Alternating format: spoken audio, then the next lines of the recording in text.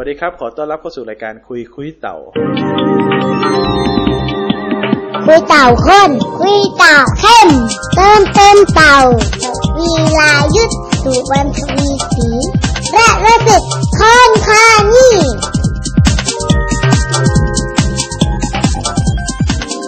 โดยช่างคุย .com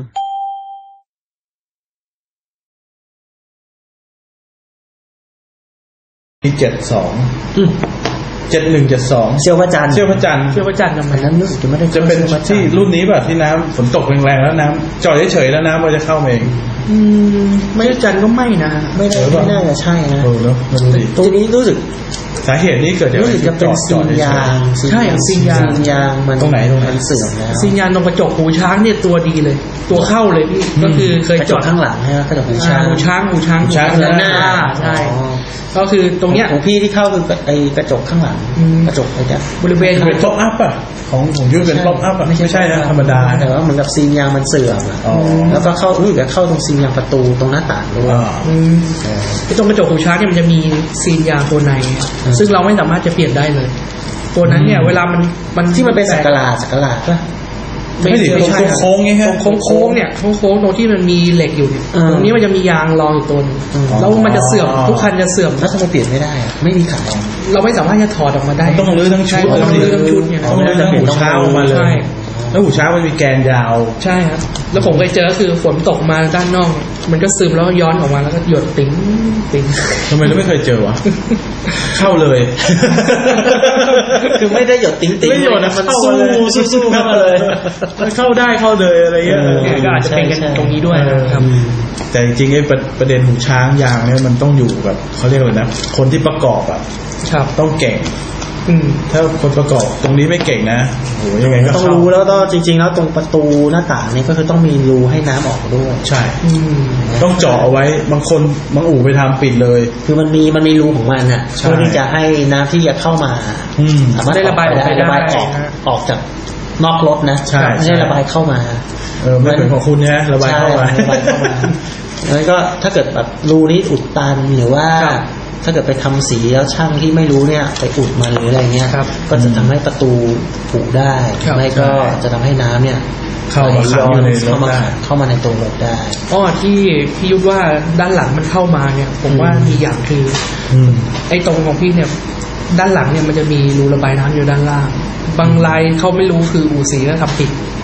ซึ่งซึ่งซึ่งมันยังไม่สามารถระบายน้ำออกจากกระจกหลังได้เลย ลงมาบนท่อแต่เขาไม่อุดรูนะใช่ไหมใช่ล่ะฮะใช่ นะพราะเป็นเหมือนกันครับผูกอยู่เนี่ยเนี่ยก็คือเก็บเล็กๆน้อยๆนะจริงๆแล้วอ่าถ้าเกิดเอ่อตรงนี้ถ้าเกิดเข้าอู่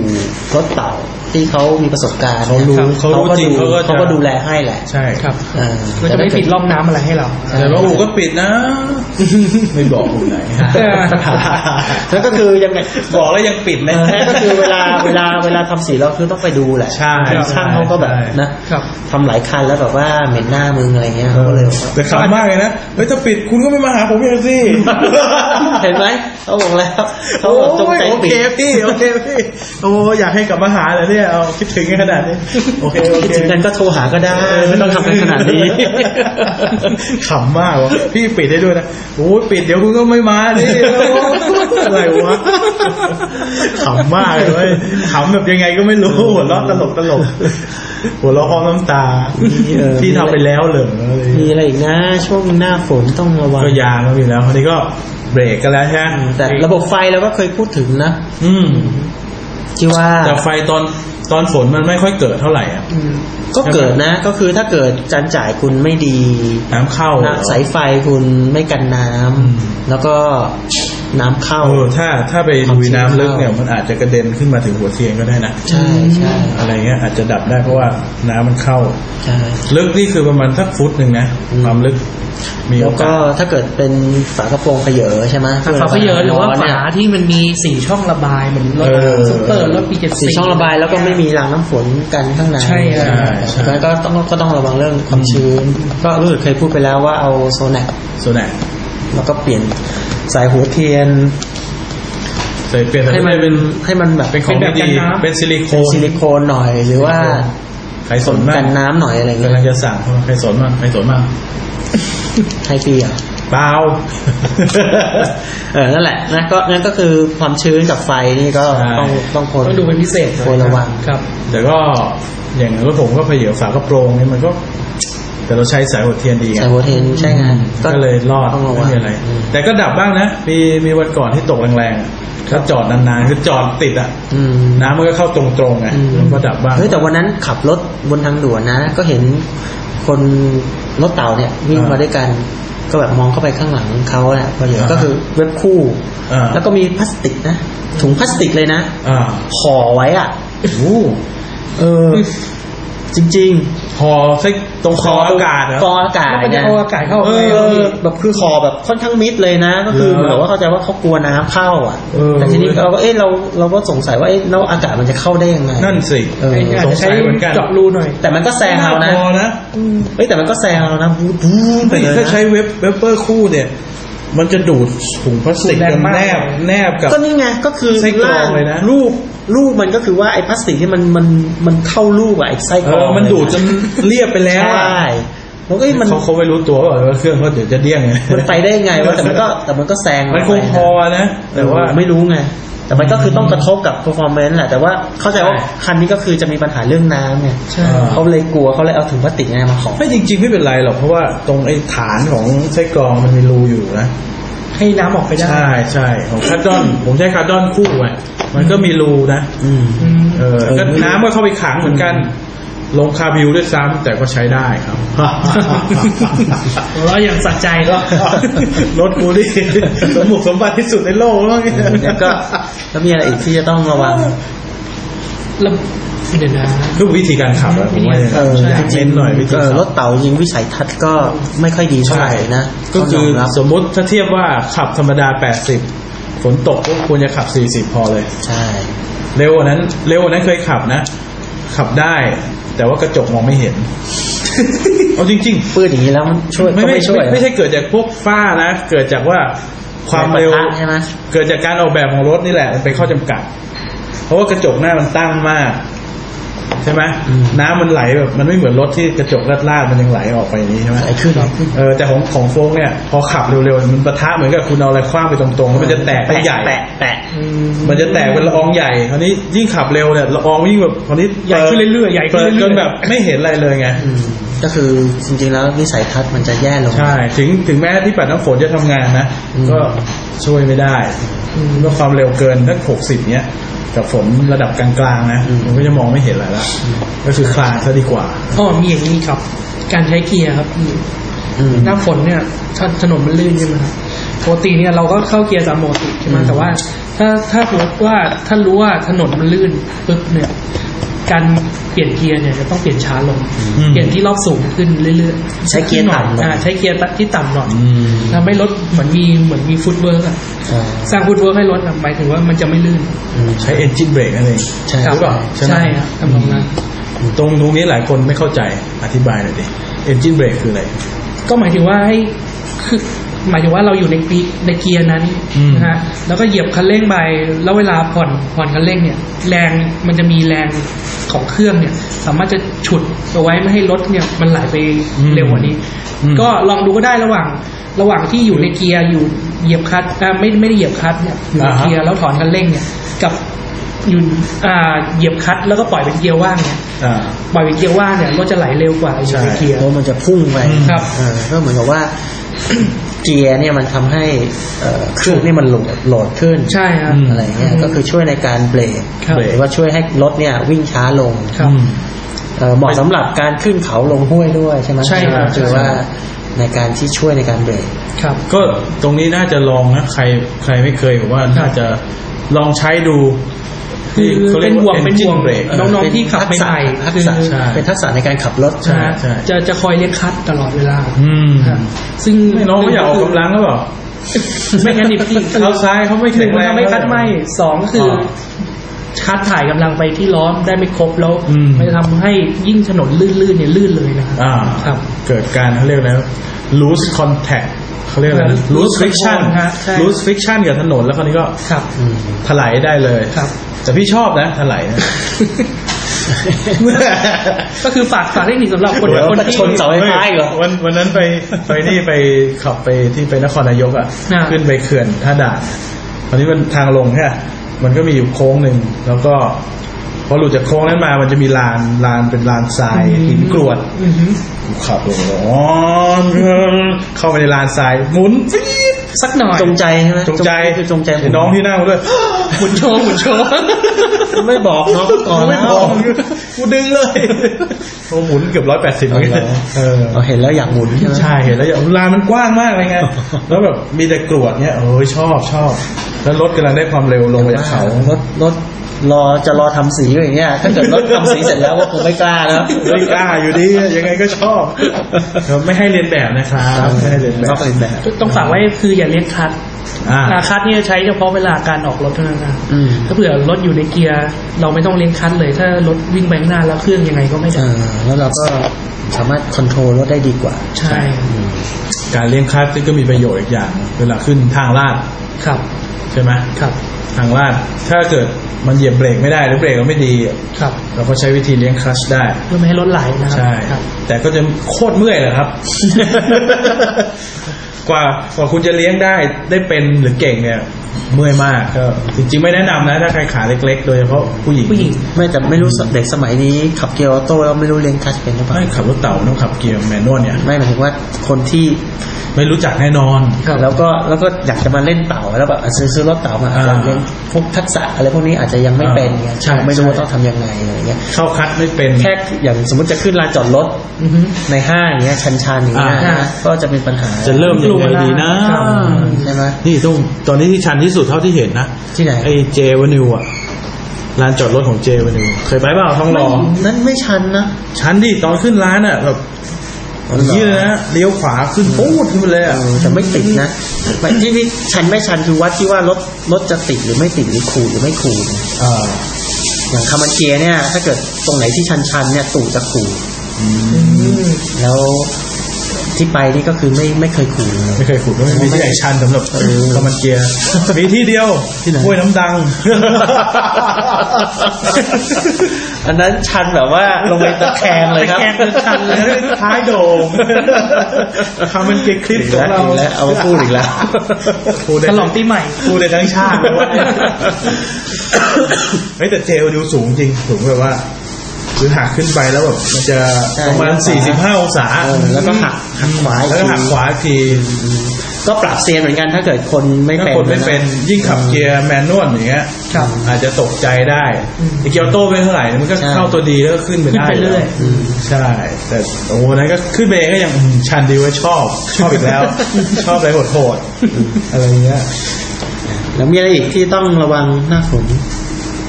นอกจากวิธีการขับแล้วใช่ไหมครับ การให้สัญญาณไฟ อ่า ก็ปกตินี่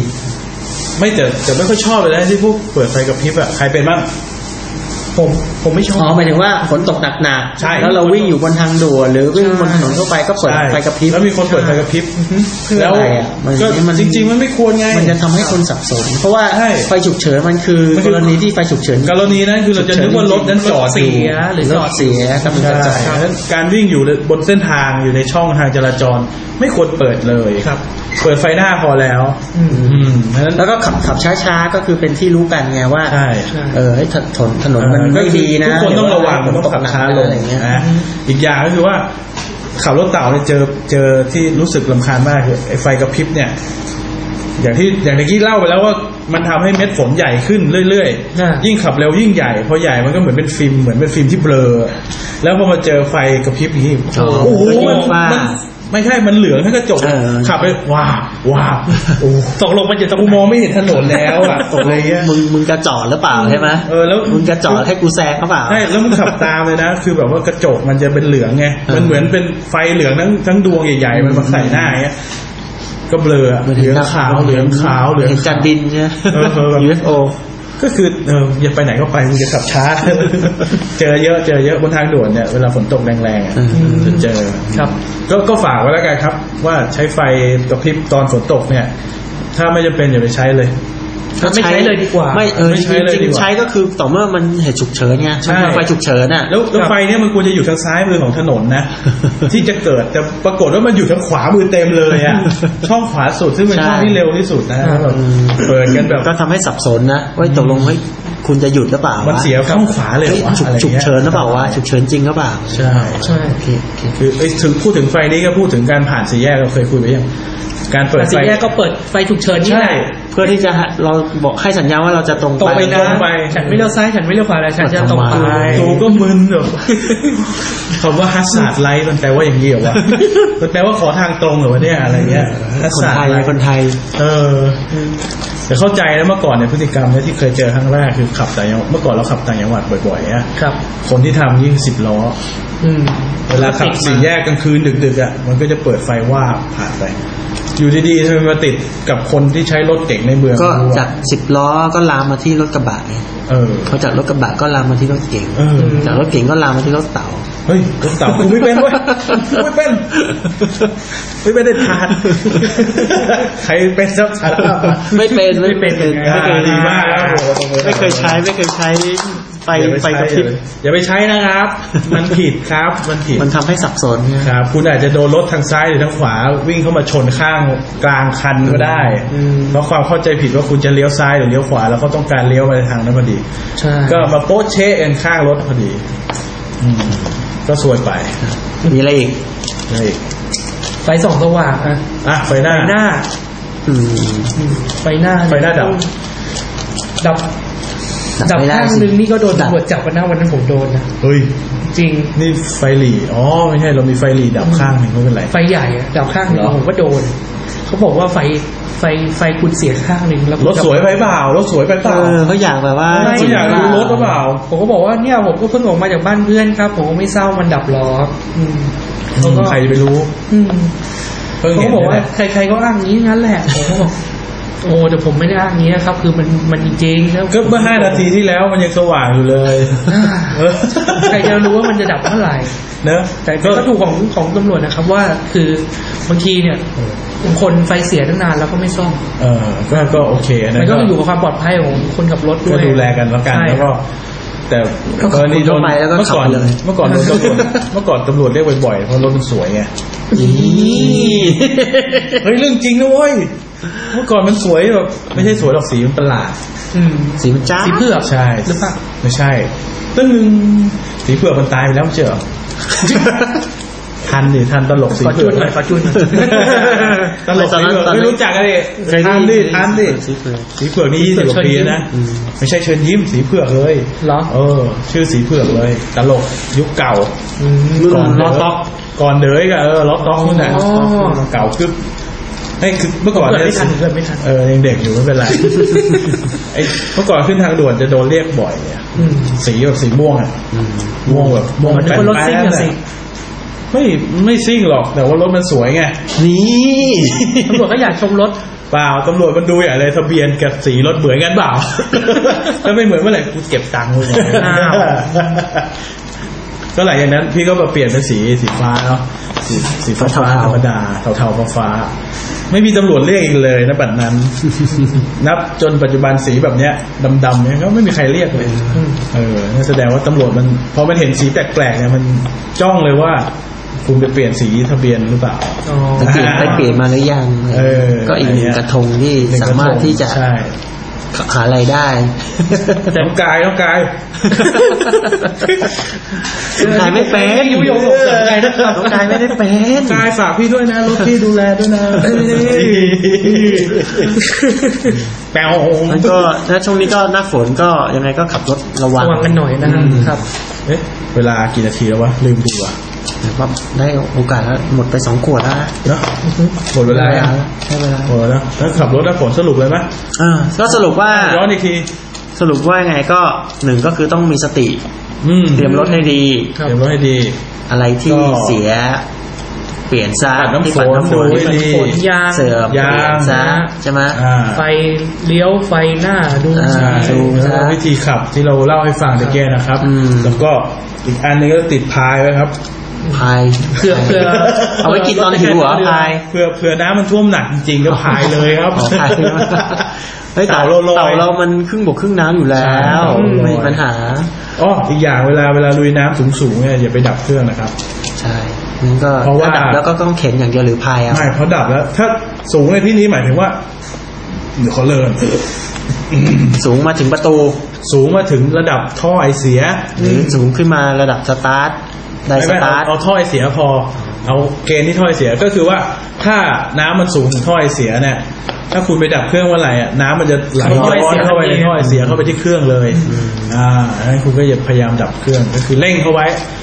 คือถึงจอดจอดติดอยู่ก็เร่งเข้าไว้ให้ไอเสียมันเป่าน้ำออกมาพ่นออกมาอืมแล้วลุยลุยน้ำมามันมานี่ก็อย่าขึ้นเบรกมือด้วยใช่เดี๋ยวมันโอ้จะติดใช่ใช่เบรกมือหลังจากหลังจากจอดหลังจากลุยน้ำครับอืมอืมอันนั้นหลายคนอาจจะพอเช้าตื่นมา เฮ้ยรถเคยเยื่อนไม่ได้เว้ยอือหือฟูดฟูด ไม่ไป ต้องถอยจนดังปัง ไม่ถอยก็เดินหน้าจนดังอะเออเออดังปังเลยอะอืมหลายคนเขาเรียกอะไรนะเบรกมันเบรติกดค้างฮะครับมันเป็นสนิมเกาะภายในคืนเดียวมันเป็นได้นะครับข้ามคืนเท่านั้นคืนเดียวมันถ้าคุณไปขึ้นเบรกมือหลังจะไปลุยน้ำเนี่ยอืมมันจะติดเลยเหมือนกาวเลยใช่มันก็นะหน้าฝนก็ขับรถปลอดภัยครับถ้าไม่ชัวร์ก็นั่งชัวร์ก็นั่งรถแท็กซี่ครับเออหรือว่าเรียกเรียกเพื่อนมารับก็ได้อ่าเพื่อนขับเต่าอีกไงก็เตือนเพื่อนด้วยแล้วกันเออเตือนเพื่อนด้วยอ่าก็ขับไปสองคนก็ยังมีมีคนช่วยเข็นนะอ่าก็ถ้ารถเสียก็แฟนลงมาเข็นแล้วกันโอ้ยมีแฟนด้วยเหรอไม่ค่อยรู้อะตรงนี้ไม่เคยรู้ผมก็ไม่รู้เหมือนกันนะคุณยุทธเจอไหมมันมีแต่ว่าให้แฟนขับเราลงมาเข็นไม่ได้หรอวะเขาแฟนไม่ไม่ไม่คงไม่ดีจนแบบว่ามาเข็นให้เราขับหรอกเอานะก็ก็หมดเวลา